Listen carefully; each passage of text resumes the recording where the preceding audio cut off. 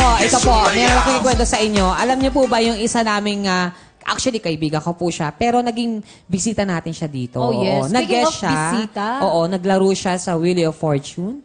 Correct. Maraming nakapanood. Correct. At hindi lang yan. Nag-trending siya. Yes! Kaya mga kaibigan ako, para po sa inyo lahat, ito na po, please welcome, nakakatuwa naman. Bumati ka naman sa kanilang lahat! Hi po! Okay lang. Ma- masaya ba lahat?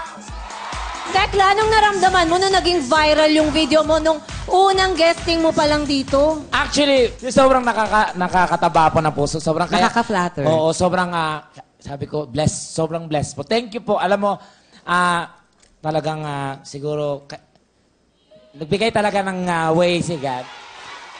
Hindi ako iiyak ha. Magpapatawa ako. eh, maraming salamat po sa inyo mga kapuso and of course sa ah, Wawawin family. Of course, especially kay Kuya Will na nagbigay sa akin ng chance Yes. na bihira po.